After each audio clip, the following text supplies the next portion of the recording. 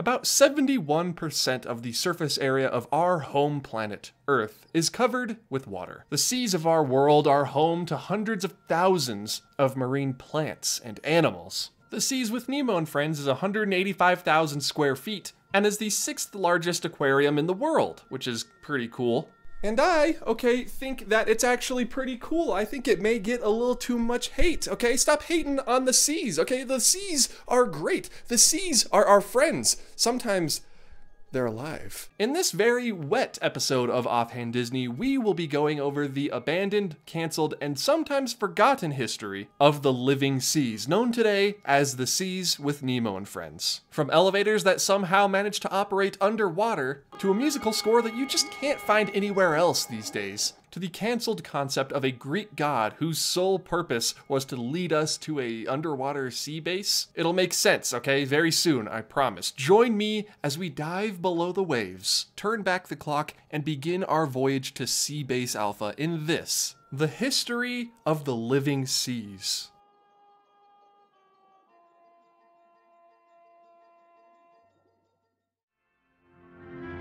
How would you like to venture into the living seas? Yet stay safe and dry. In Sea Base Alpha, you'll do just that and still be able to explore the wonders of our aquatic frontier. A futuristic research station beneath the waters of the largest saltwater tank environment in the world.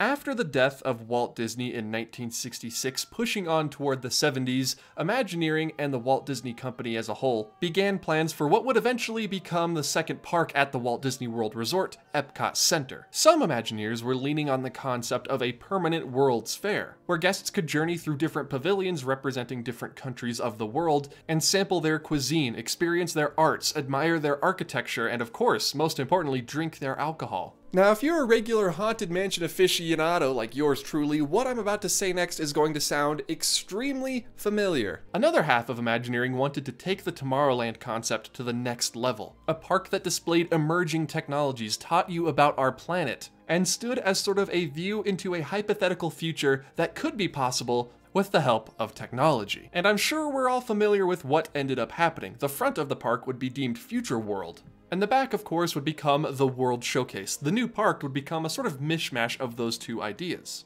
As Epcot Center entered creative development, an idea for a sea-based pavilion for the front half of the park, Future World, was conceived. You can see a very early version of it right here in this model, right there. It's where the land pavilion is located today, is actually where the sea pavilion was going to be located in about 1978 as they were planning this park. The entrance was to be flanked by two very large reflection pools, obviously to give the impression that you were entering the ocean, and the entrance itself to the pavilion was sculpted almost to look like you were walking into an ocean cave. And even in this very early concept, you can see that the plans for the pavilion included a massive aquarium, and don't worry, we'll get to the aquarium in a second. I think one little sort of interesting tidbit that isn't important to the wider history of the living seas is noticing how finished the land and the sea pavilion look in this small model. That being said, the land pavilion also got those big round pools in front of it. I don't know what it was with Disney and these giant, you know, pools of water, but in front of the land and the sea pavilion, I guess they're like sister pavilions, right? So I guess it, it kind of makes sense if you think about it, except, you know, the land is about the land and the seas are about the seas. But who am I to judge? Who I'm not an Imagineer here, okay? I'm not on the creative development team. Looking around at the other Future World pavilions, they're just sort of nondescript white shapes, where the land pavilion has the big prism greenhouse and the seas obviously has the entrance facade facade completely done. So it seems that they had nailed down that they absolutely did want a land and sea pavilion from the early conceptual days of Epcot Center. Which is odd because moving forward to the actual opening day of the park in October of 1982, the land pavilion did end up opening along with many, but also importantly, not all of the Future World pavilions that were there on opening day. However, the Living Seas did not make the opening day deadline after all. Instead, when the park opened where today you would find the Seas Pavilion, it was just an empty plot of land. There was nothing next to, well, the, the land. This is because Disney wasn't comfortable with the amount of knowledge they had on marine biology and ocean life, so they needed more time to nail down the scientific and edutainment specifics behind the pavilion. And of course, one of those classic Epcot problems that we will keep running into over the course of this series time and time again, the trouble with finding a sponsor. Given Disney's original goal for the park of showcasing advancing technologies, all of the Future World pavilions on opening day were hosted by sponsors. The sponsorship of these pavilions in Future World allowed companies to showcase not only their technology, but also to advertise to guests as they made their way through attractions and displays and shows. These companies would also foot some of the bill for construction and maintenance of these pavilions, so that way Disney wasn't spending as much as they normally would to construct this brand new pavilion. It wasn't until United Technologies, nowadays known as the Raytheon Company, signed on to sponsor this pavilion that development and construction really started to begin. However, before United Technologies signed on to sponsor the project, the original dream for the Seas Pavilion was much, much bigger. The pavilion would not just serve as a place where people could go and ride an attraction and see some fish, but would also be a real, functioning marine research facility and was going to feature a much, much larger dark ride than what ended up opening alongside the pavilion in 1986. The original idea consisted of an Omnimover ride vehicle being a bit more enclosed than it normally is to sort of resemble a bubble, and the Greek sea god Poseidon calming a storm before inviting us down under the waves to explore the many different marine biomes of our planet, before he led us to a futuristic sea base where we'd be able to explore more of the ocean on our own two feet. We wouldn't have to be in an Omnimover anymore.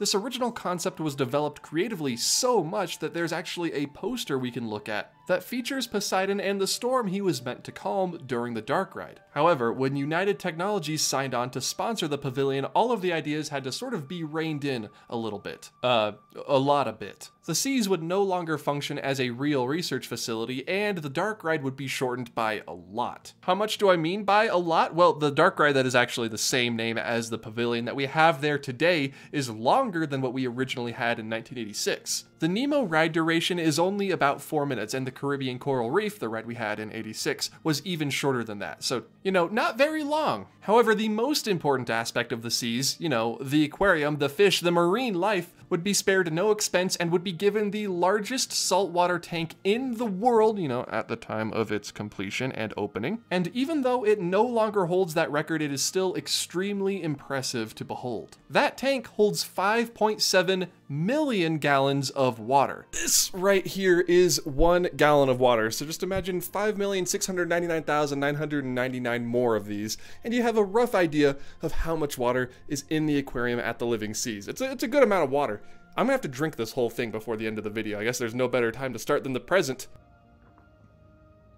Go watch the rest of the video, we'll check in later. So yeah, all in all, you know, in short, it's a good amount of water. And although it wouldn't be a functioning research facility and Poseidon would no longer lead us to the sea base, the sea base was still very much part of the story of the pavilion. It would be our base of operations from which we could access different modules where we could learn about the ocean. And at long last, with a sponsor lined up and a concept ironed out, construction would begin on the living seas. No longer would the facade look like the entrance to an ocean cave surrounded by pools of water. Now, the pavilion was housed inside of a building that was meant to sort of mimic to represent the swell of ocean waves. The marquee of the pavilion was perched atop of ocean rocks that would sometimes be hit by a big wave, a big splash of water. I'm sure we're all familiar with that effect. It can still be seen today in front of the seas, except, you know, you got got the, the added presence of the seagulls, which I think are fun. But at long last, after four years of waiting, the Living Seas was finally open and operating next door to its sister pavilion, The Land, in 1986. Now, if you remember, I mentioned earlier that the aspect of the sea base was carried over to the final design of the pavilion. The sea base, of course, being located, you know, underwater. So how is it from a storytelling perspective that guests would be present on land at Epcot Center one second to being miles under the ocean's surface the next? Well, my friend, I am glad you asked. Honestly, though, no, I'm, I'm actually thrilled you asked me that. United Technologies, the sponsor of the pavilion on the day it opened, developed and manufactured products in aerospace systems, aircraft engines, HVAC, fire and security, building automation, industrial products, and elevators and escalators. You know, those those things that you hop on while you're trying to get back to your room at your hotel, or if you're trying to get to you know, Aeropostale at the mall. Elevators and escalators, baby. So, you've heard of a space elevator, right? An elevator you can take to space, you know, the moon, a space station hanging out there. You see it in Space 220. They're really, really cool. How about instead of taking an elevator to space, you would take an elevator down, down into the depths of the ocean? Not an elevator, but instead a hydrolator. When guests first entered the pavilion, they would view a short movie called The Sea, very creative name there. Disney, good work. To learn how our planet's oceans were formed before boarding these hydrolators. Now, unfortunately, this is a history video. I do have to break the magic, but these hydrolators weren't actually taking you down to the sea floor. They weren't actually taking you under the water. I'm sorry, no, it was an illusion. The effect of moving down into the depths of the sea was achieved with moving walls, similar to the Indiana Jones adventure, sound effects, and a vibrating floor that gave guests the illusion that they were descending. And honestly, looking at videos of it, it seems pretty convincing. It does look like you're moving down, sort of in the same way that the submarines at Disneyland sort of give the illusion that you're descending through the water, it's very convincing. After exiting their hydrolators, guests would then board an Omnimover, referred to in this instance though as a sea cab, not a doom buggy, not a clammobile, a sea cab. They would then enjoy the Caribbean Coral Reef attraction that took them right through the middle of the world's largest saltwater tank at the time of opening. Before exiting out, much like we do today, into the rest of Seabase Alpha, which is still actually curiously renamed Seabase Alpha. We'll talk about that when the retheme happens down the line, but it's, it's very interesting to me they just kept that around. Well, it's a good name. Why would you get rid of it? This is going to take a while. The Coral Reef ride was essentially just the portions of the Finding Nemo ride that we have today where you go through the tank. That's all that the Coral Reef ride was. You don't have any of the scenes from the beginning half of the attraction. You would then be able to, at your own leisure, explore different modules, like Module 1A, which taught guests about ocean ecosystems, or perhaps I could interest you in Module 1D, Undersea Exploration, a show that was hosted by an animatronic version of the Jason submersible. Very interesting. He's actually He's actually kind of cute. Why do I all of a sudden want a plushie of this deep sea submersible Disney? There's merchandising opportunities you're just throwing away here. Does that not strike your fancy? Fine. What about Module 1 and 2B, the Marine Mammal Research Center, which was home to the pavilion's manatees that I believe are still there today? I love the manatee show. You make sure to show up when they feed them. It's a wonderful experience. I say show, it's not really a show. They just sort of come out and eat their lettuce and then swim around. It's a great time. Maybe watching all of those majestic fishies swim around in their giant tank got you a little peckish, you know? Maybe you want to eat some fish in front of some living fish. You monster! Enjoy your meal at the Coral Reef Restaurant, which offers seafood and a beautiful view into the pavilion's giant aquarium. You monster! It is one of the most visited places on Earth.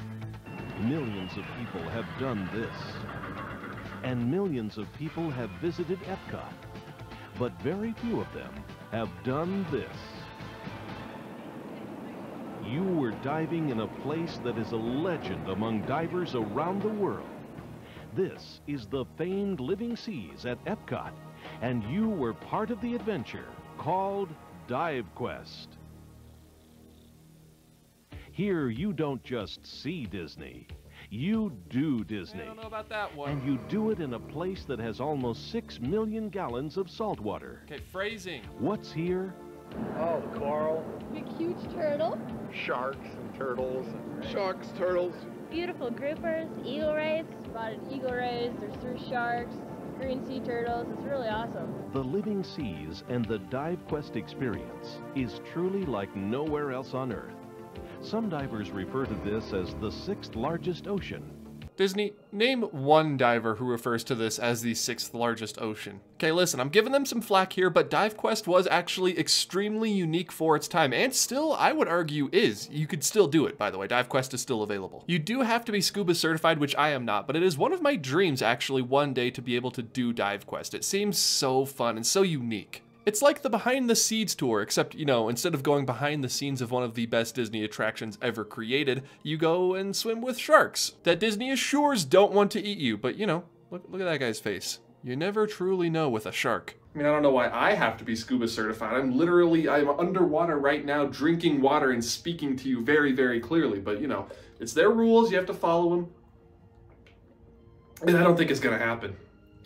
The Living Seas would remain mostly the same until 2003 when a little known Pixar movie, it's a little indie film called Finding Nemo, released in theaters. Elements of the building's theming began to change after that movie was released, and in 2004, Turtle Talk with Crush opened in the former Earth Systems, or 1C module. And when I tell you Turtle Talk with Crush was a success, that's sort of underselling it, because this is now my era when I was a kid visiting Walt Disney World. You know, the mid-ish 2000s, you know, seven-year-old Dallin was running around Future World. He wanted to go see Turtle Talk with Crush. He wanted to interact with this Disney character he had seen on the screen. So did everybody, it seemed. And this was, in my opinion, Disney's first sort of dipping their toe into featuring popular Disney Pixar characters in attractions and pavilions, not just as meet and greet characters. And you know, by dipping their toe, I mean in 2005, the Living Seas closed forever to make way for the Seas with Nemo and Friends. The entire pavilion was rethemed. Because back in 1998, United Technologies dropped their sponsorship of the Living Seas, leaving all operating and maintenance costs up to Disney. And let me tell you, taking care of all that, all those fish, all those sharks, those manatees, it can't be cheap. I don't have a ballpark estimate, but you know, there's no way it's cheap.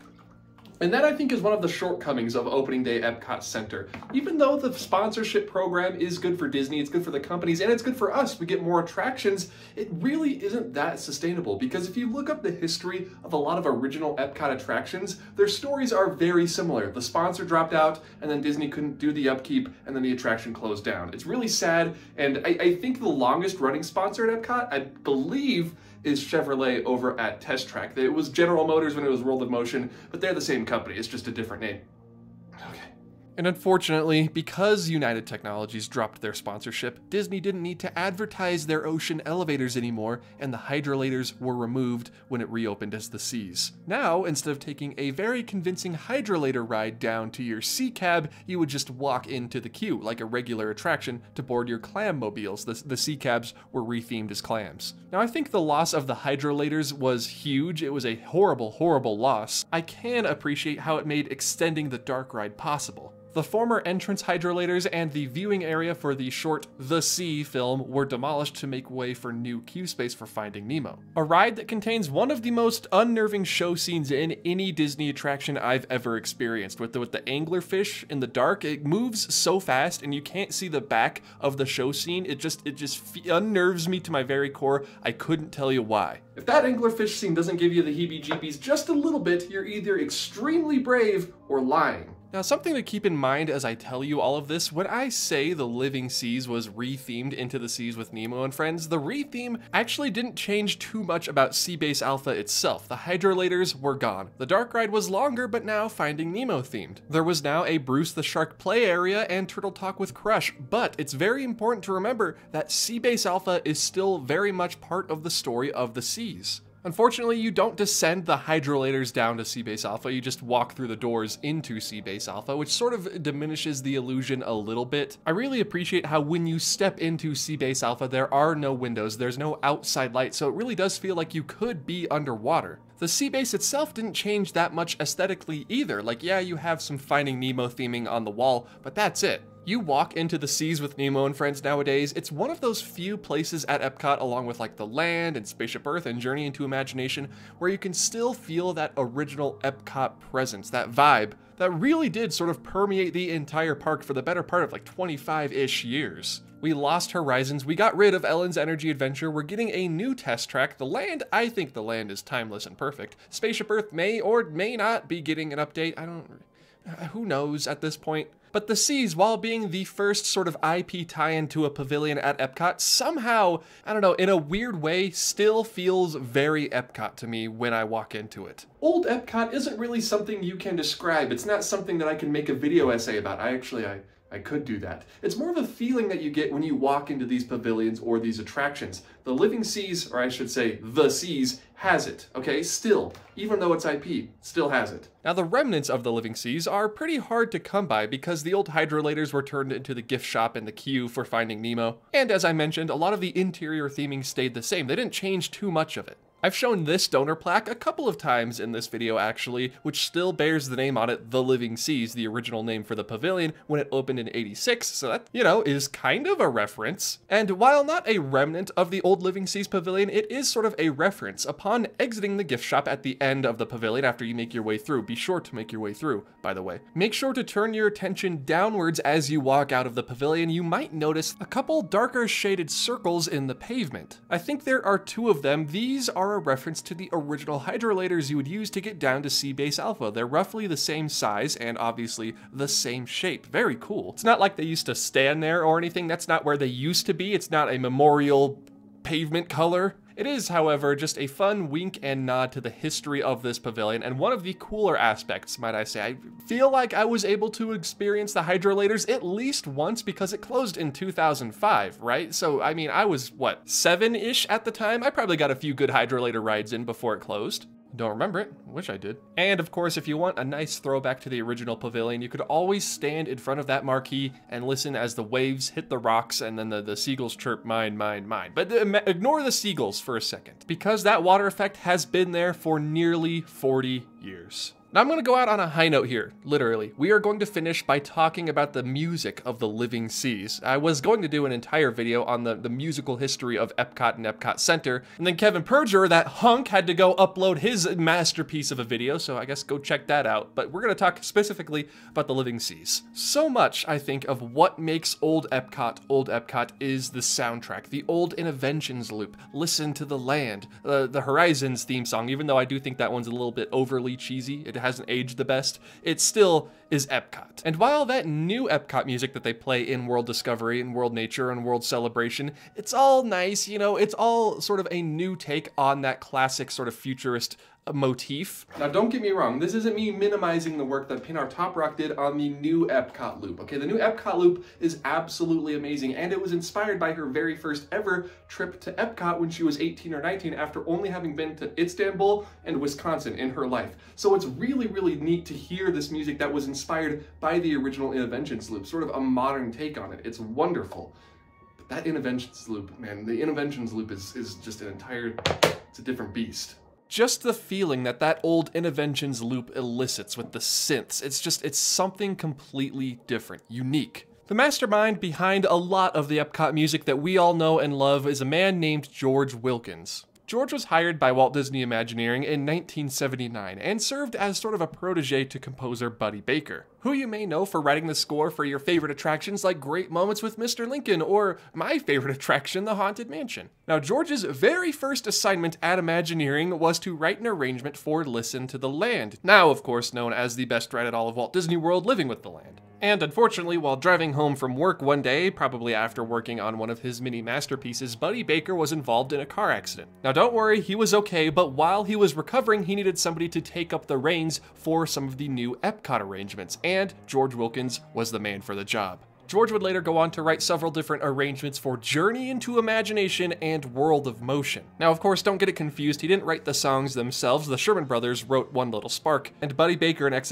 wrote Fun to Be Free for World of Motion, but you know how when you're on the Haunted Mansion, different variations of Grim Grinning Ghosts will play as you pass through different show scenes? Sometimes it'll be an organ or chimes or a piano for different scenes. How it sort of evolves as you move through the ride. Those are different arrangements, and somebody has to write that. That was George Wilkins' job for those two attractions. And while Horizons was under development, George finally got the chance to write all of the music for a singular attraction. All of the music you hear on Horizons, the area loop, all of it was written by him. But when it came time for the Living Seas, Disney needed a more Innoventions style, sort of new age musical theme. So George was brought back onto the project along with another co-composer, Russell Brower the composer of the classic, the iconic Innoventions loop that I know we all still sort of hum to ourselves today as we walk through the brand new version of Future World at Epcot. I just, it's so, so good. Who also, fun fact, wrote a lot of the music from many, many Blizzard games. We're talking World of Warcraft, Burning Crusade, Wrath of the Lich King, Diablo 3, Hearthstone. When you hear the music in those games,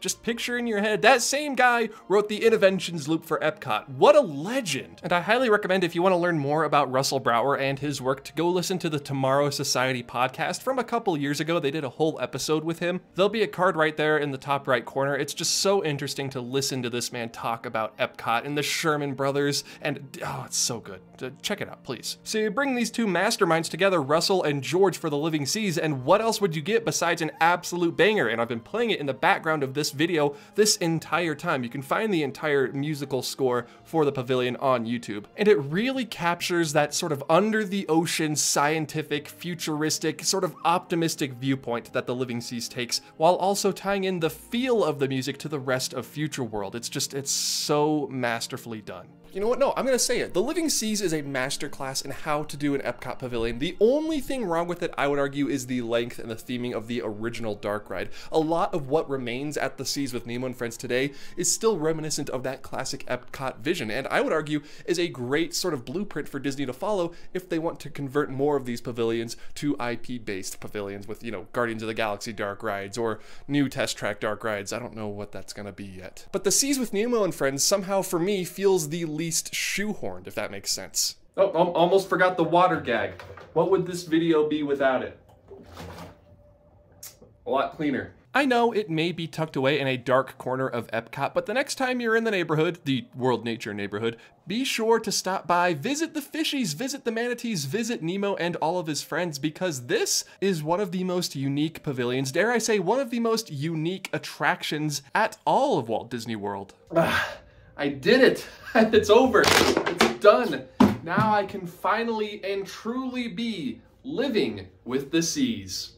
That's what this whole video is leading up to, to, th to this point where I made this living with the land reference. Just, uh, you know, it'd be a whole lot more great if they brought back even just one of the hydrolators. Make it uh, make thematic sense as to how we get down to the sea base. Just something to think about, Disney. People mover? Who needs it? Bring back the hydrolators.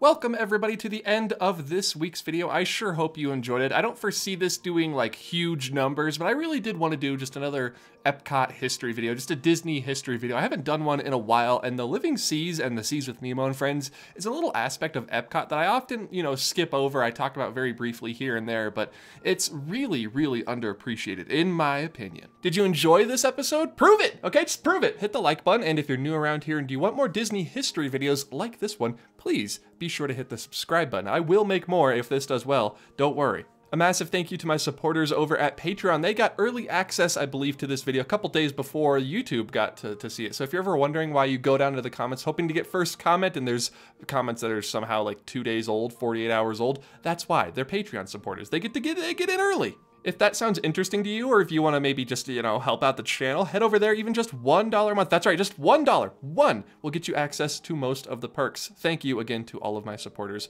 over there. And if you want to follow me for free on other social medias, you can do that too. Twitter, Instagram, TikTok. I am at Offhand Disney uh, on all of those platforms. I will be talking about the Living Seas over on one of those platforms. I'm not quite sure yet, but I, I just, I am, I'm on a Living Seas kick right now, okay? I'm sorry. That being said, everyone, thank you all so much for watching this video. I look forward to seeing you all in the next one. Maybe history, maybe just me ranting about the current state of Disney and the Disney parks. Maybe, maybe we'll see.